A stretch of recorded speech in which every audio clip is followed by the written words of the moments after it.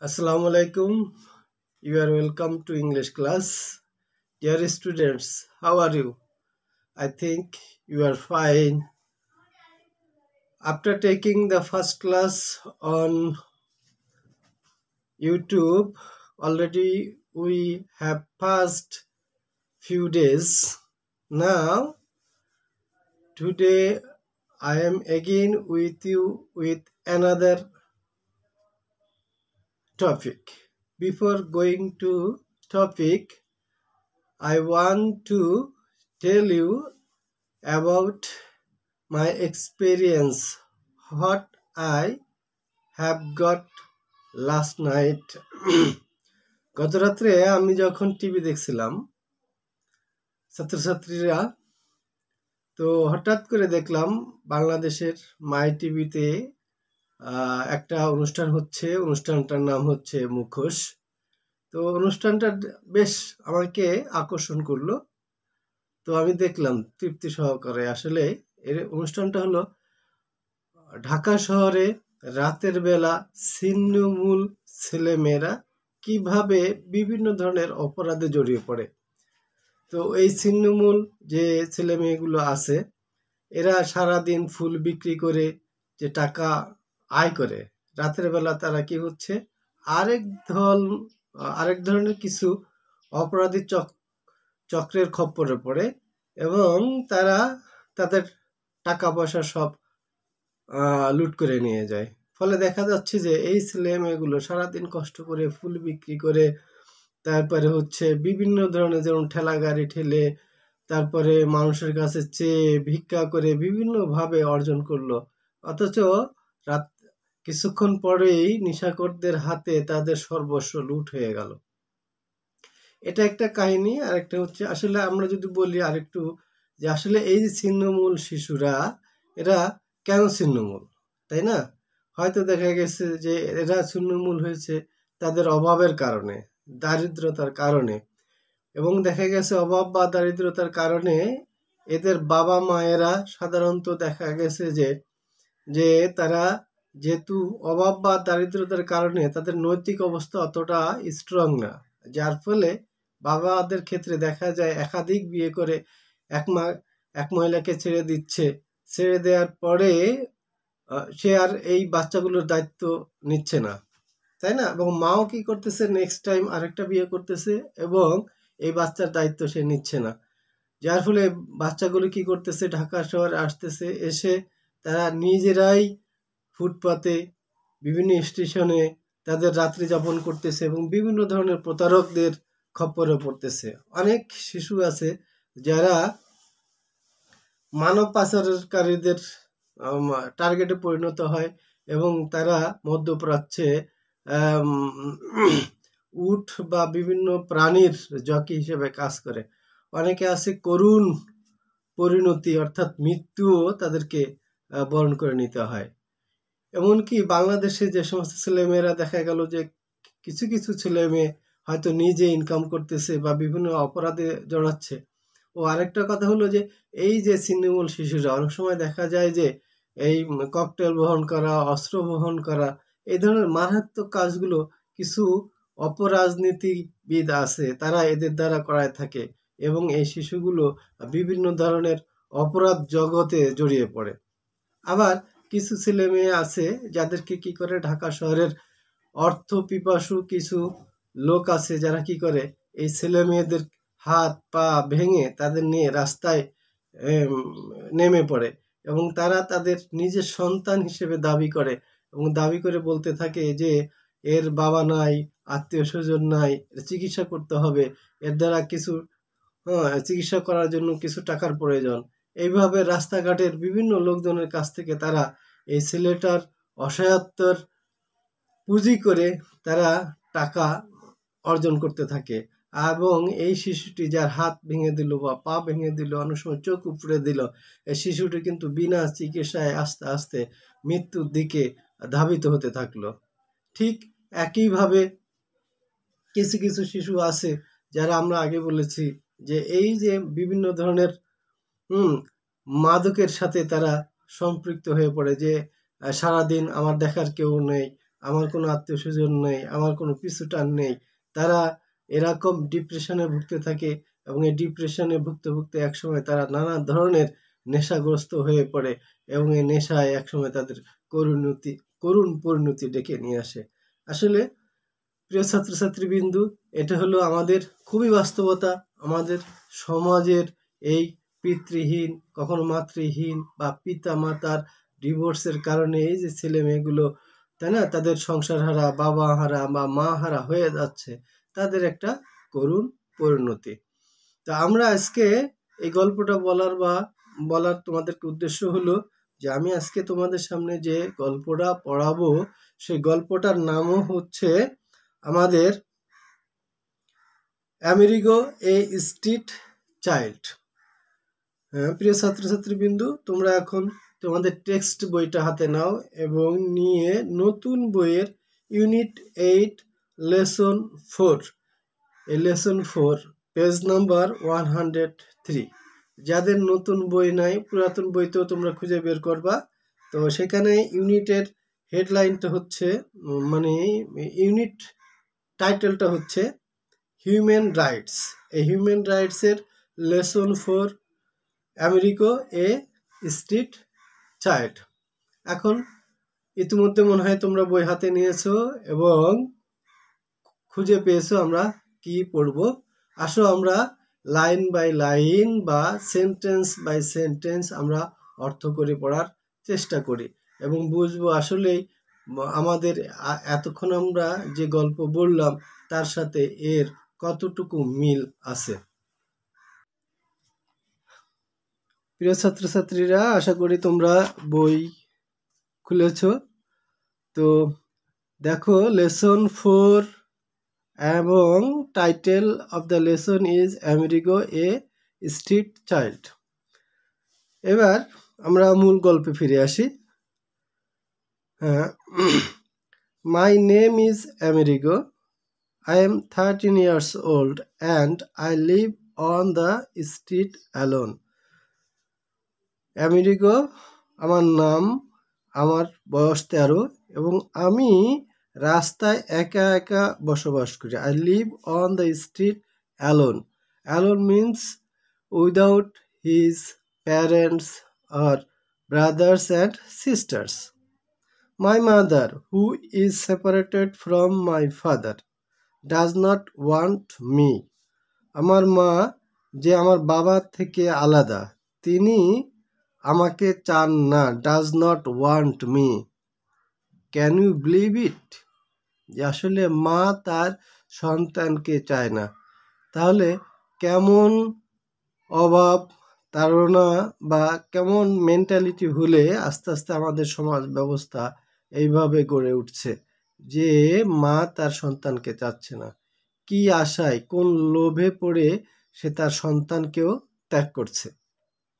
She told me to go away she means Amerigo's mother তাই না? আমেরিকার মা কি তাকে কি বলেছে? যে তুমি চলে যাও। Now she is married to another man আমেরিকার মা এখন কি? অন্য পুরুষের সাথে সে বিবাহিত। My father lives very far away আমার বাবা আমার থেকে অনেক দূরে বসবাস করে। I want to go to him আমি তার কাছে যেতে চাই। আই মিনস আমেরিকো আর হিম ফাদার অফ আমেরিকো তো আমেরিকো চায় যে তার বাবার কাছে যেতে। But he want take me either কিন্তু তিনি চান না যে আমাকে নিতে। I begged him to send me some money আমি তার কাছে কিছু টাকা পাঠানোর জন্য আবেদন করেছিলাম। দয়া যে ভিক্ষা করছিলাম। আই বেগড অনুরোধের স্বরে বলছিলাম যে, বাবা, তুমি আমাকে কিছু টাকা পাঠাও। So that I could buy a bus ticket যাতে কি করতে পারি? আমি একটা বাস টিকিট কিনতে পারি। আই এম স্টিল ওয়েটিং আমি এখনও অপেক্ষা করছি। হি হ্যাজ নট অ্যান্সার্ড কিন্তু তিনি কোনো উত্তর দেননি। তিনি বলতে, বাবা অর্থাৎ বাবার কাছে আমি কিছু টাকা চেয়েছিলাম যাতে আমি বাসের টিকিট কিনতে পারি এবং টিকিট কিনে তার কাছে যেতে পারি। কিন্তু বাবা আমার কোনো উত্তরই দেননি বা কোনো টাকাও আমাকে পাঠাননি। The streets are now my home রাস্তায় এখন আমার বাড়ি। সামটাইমস আই ফাইন্ড ওয়ার্ক কখনো কখনো আমি কাজ পাই। I use to collect trash and sell it to a vendor আমি কি করি? ওই যে ময়লা আবর্জনার ভিতরে যে সমস্ত বোতল, তাই না? তারপরে হচ্ছে পলিথিনের কাগজ, এই ধরনের ময়লা আবর্জনার কাগজ আমি সংগ্রহ করি এবং সেগুলো খুচরা দোকানে বিক্রি করি। Sell it to a vendor I stop doing that after I had a serious infection এখন আমি সেগুলো সংগ্রহ করাও বন্ধ করে দিয়েছি। কি কারণে? যে I had a serious infection আমার একটা মারাত্মক কি এই ধরনের সংক্রামক রোগ হয়েছিল। And a doctor told me to stay away from the trash dump এবং ডাক্তার আমাকে বলছিল এই ধরনের ময়লা আবর্জনার সংগ্রহ থেকে বিরত থাকার জন্য। Once I worked for an ice cream shop owner তারপর আমি কি করলাম? একজন আইসক্রিমের দোকানের মালিকের তাই না? আইসক্রিম দোকানের মালিকের আন্ডারে আমি কাজ করতাম। And sold ice cream on the beach এবং সমুদ্র তীরে আমি আইসক্রিম বিক্রি করতাম। But I got no money in return কিন্তু এই আইসক্রিম বিক্রির বিনিময়ে আমি কিছুই পেতাম না। The owner of the shop gave me something to eat সে আইসক্রিমের মালিক, তাই না? তিনি আমাকে কি করতেন? খাওয়ার জন্য কিছু দিতেন, অল্প কিছু দিতেন। And let me sleep in his heart at night এবং রাত্রির বেলা তার কুড়ে গড়ে আমাকে শোয়ার ব্যবস্থা করে দিতেন। The work was difficult and painful এই যে আইসক্রিম সমুদ্র তীরে বিক্রি করা, সে কাজটা ছিল আমার জন্য খুবই কঠিন এবং বেদনাদায়ক। The ice cream box is quite heavy when it is full এই আইসক্রিমের বক্স যখন পরিপূর্ণ বা ভর্তি অবস্থা থাকতো, তখন এটা ছিল আমার জন্য খুবই ওজনের, আমার জন্য অনেক কষ্টকর। I had to walk for hours ঘণ্টার পর ঘণ্টা আমাকে কি করতে হতো? হাঁটতে হতো। Offering my ice cream to whoever wanted to buy যে আইসক্রিম কিনতে চাইতো, তাদেরকে কাছে আইসক্রিম বিক্রি করার জন্য আমাকে ঘণ্টার পর ঘণ্টা হাঁটতে হতো। There were days when I could not even sell one ice cream এমনও দিন ছিল যেখান যেদিন হয়তো আমি একটি আইসক্রিমও বিক্রি করতে পারতাম না।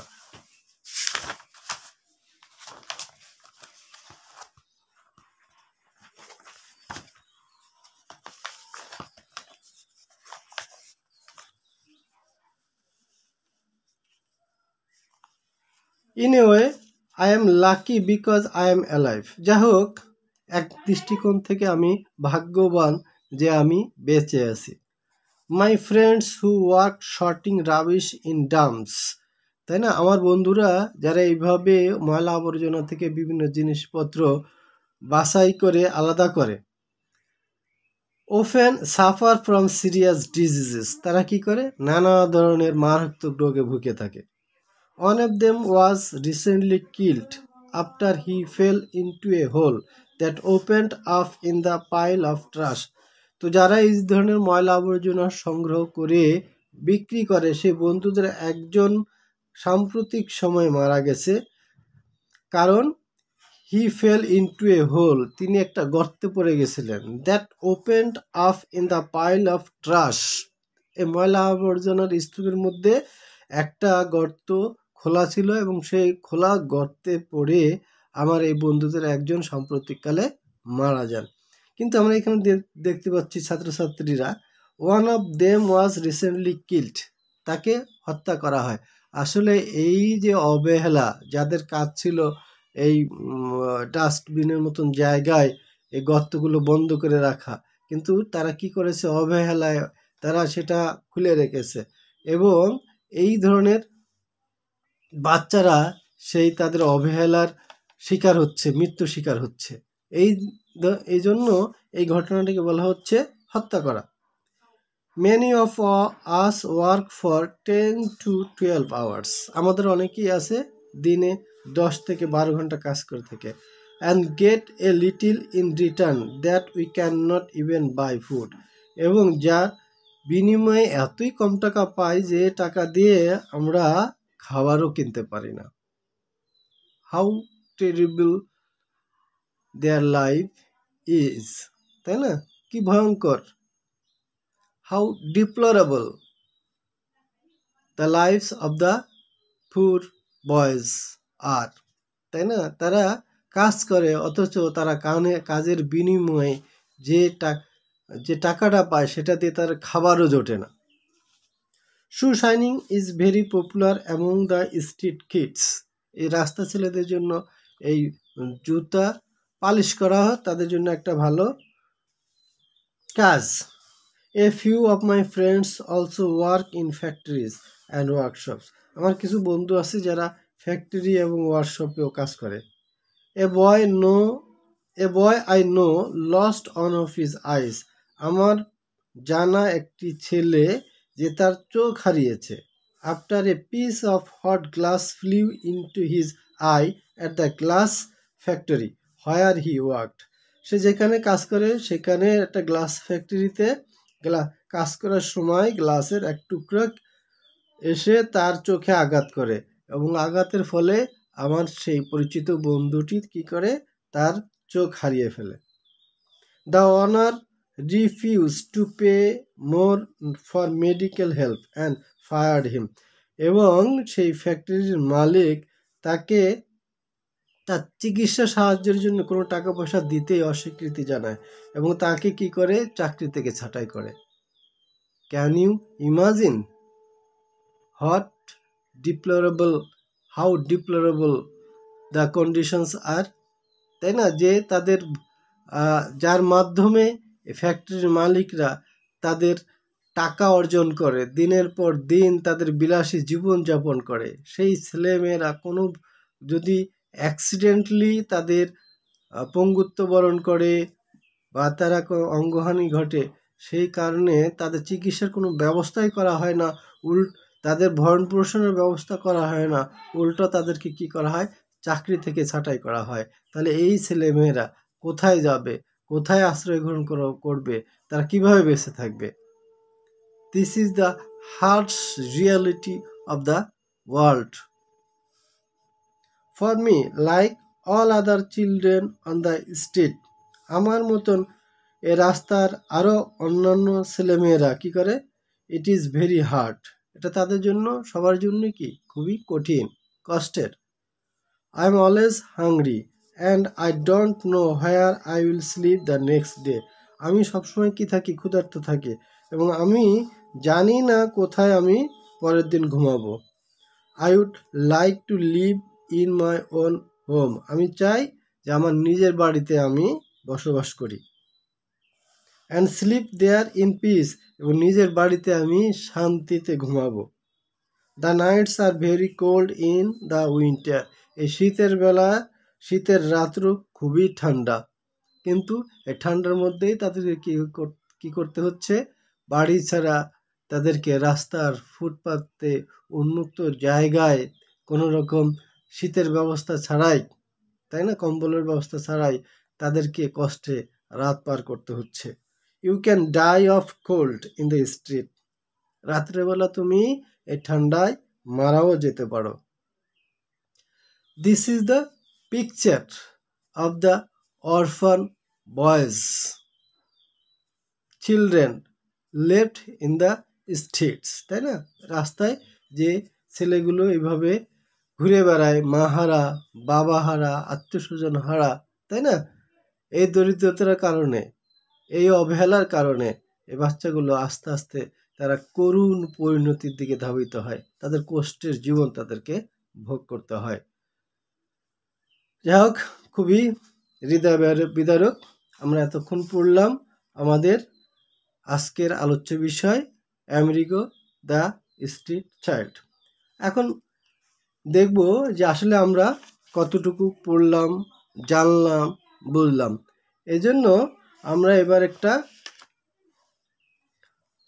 যেটা আমাদের তো এখান থেকে অনেক ধরনের প্রশ্নই তোমরা আসতে পারে, যেরকম রিয়ারেন্স আমেরিকা যেহেতু তার বাবা মা হারা তার কষ্টের জীবনটা সে এখানে বর্ণনা করা হয়েছে। সুতরাং এটাকে ক্রোনোলজিক্যালি তার লাইফ স্টাইলটা এখানে রিয়ারেন্স হিসেবে থাকতে পারে।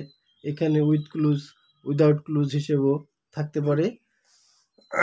Dear students you will practice the seen as seen comprehension হ্যাঁ and with clues without clues and rearrange now will try to discuss a with clues from our uh, guide. Now look at the text. এই এখানে খেয়াল করো আমরা দেখি কতটুকু আমরা বুঝতে পারি বা করতে পারি ছাত্রছাত্রীবৃন্দ তো আমরা এখন আলোচনা করব কোনটা নিয়ে আমাদের উইথ ক্লুজ নিয়ে। তো উইথ ক্লুজে দেখি আমাদের উপরের কি থাকবে। শব্দ দেয়া থাকবে, সে শব্দগুলো আমাদের নিচে অর্থপূর্ণভাবে যে শূন্য স্থানে সঠিক শব্দটা ব্যবহার করতে হবে। কি আছে? Stopped difficult was the ones from earn street trash ice cream selling and shelter let's start reading the paragraph Amerigo is a 13 year old street child.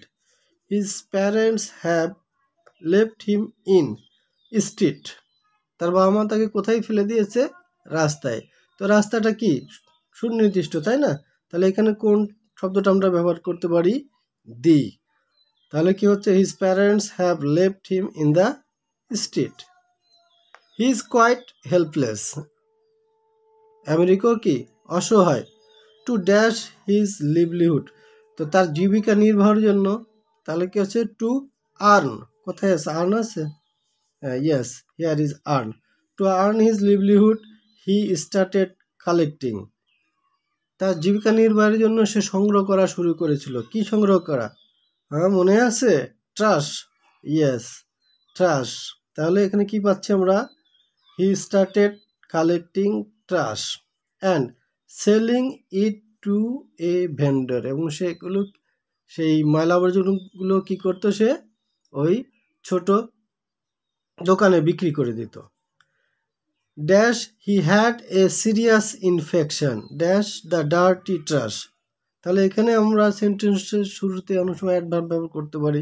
তাহলে কোন অ্যাডভার্বটা আমরা আনতে পারি এখানে? Once once he had a serious infection dash the dirty trash.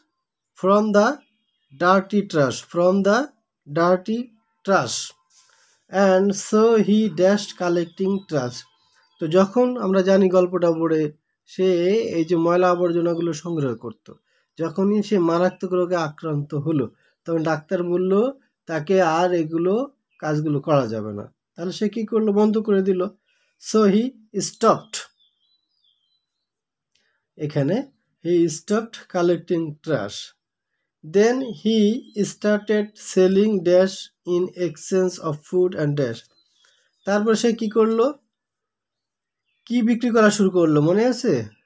Ice cream then he started selling ice cream এই যে এখানে আছে ice cream in exchange of food and dash খাবার এবং কিসের বিনিময়ে, আশ্রয়ের বিনিময়ে সে আইসক্রিম বিক্রি করতে শুরু করল। শেল্টার তাহলে then he started selling ice cream in exchange of food and shelter from the owner the work was dash and painful কাজটা কেমন ছিল? তার জন্য খুবই কষ্টকর। তাই না? The work was difficult and painful তার জন্য কঠিন এবং বেদনাদায়ক। As the ice cream box was আছে এখানে ওয়াজ ভাব দরকার very heavy and he had to work for hours এবং তাকে কি করতে হতো? ঘণ্টার পর ঘণ্টা এইভাবে হাঁটতে হতো আইসক্রিম বিক্রি করার জন্য। প্রিয় ছাত্রছাত্রীরা, তোমরা এইভাবে with clues without clues rearrange এগুলো কি করবা? তোমাদের যে জন্য নির্ধারিত মডেল বই আছে মডেল বই প্রিয় ছাত্রছাত্রীবৃন্দ, এতক্ষণ আমরা আমাদের যে আলোচনার বিষয় ছিল আমেরিকা দ্য স্ট্রিট চাইল্ড সেটা নিয়ে আলোচনা করলাম। তো এটা তোমরা বাসায় বেশি বেশি প্র্যাকটিস করবা আরও দুই তিনবার পড়বা। পড়ে এর উপরে তোমরা সিন কম্প্রিহেনশনের মাল্টিপল চয়েস শর্ট কোশ্চেন এবং with clues without clues rearrange এগুলো প্র্যাকটিস করবা। There is a proverb that practice makes a man perfect তোমরা যত বেশি পড়বা, তাই না? তত বেশি কী হবে? Your reading skill will be developed তোমরা যত যত বেশি বেশি ইংরেজি পড়বা, তত তোমাদের ভোকাবুলারি বাড়বে এবং ভোকাবুলারির সাথে সাথে তোমরা ইংরেজি পড়ার যে দক্ষতা, সেই দক্ষতাটা অর্জন করবা। এবং সাথে সাথে আমাদের পরীক্ষার প্রস্তুতিও যেহেতু নিতে হবে, সেই কারণে আমরা কি করব? Multiple choice short questions with clues without clues rearrange এইগুলোও আমরা প্র্যাকটিস করার চেষ্টা করব। তো আগামী দিন আমরা আরেকটা নতুন টপিকস নিয়ে হাজির হব। আশা করছি you are passing a safe and sound health তোমরা তোমাদের কোভিডের যে নিয়ম নীতি আছে বাড়িতে বসে সেগুলো পালন করছ, তাই না? বাইরে গেলে মাস্ক ব্যবহার করছ, বেশি বেশি হাত ধুচ্ছ। তো এইভাবে নিজেরা নিজেদের সুরক্ষা করবা এবং পরিবারের অন্যদেরকেও তোমরা সুরক্ষিত করবে। এবং পরবর্তী ক্লাস পর্যন্ত সবাই সুস্থ থাকো, ভালো থাকো। এই শুভকামনায় খুদা হাফেজ।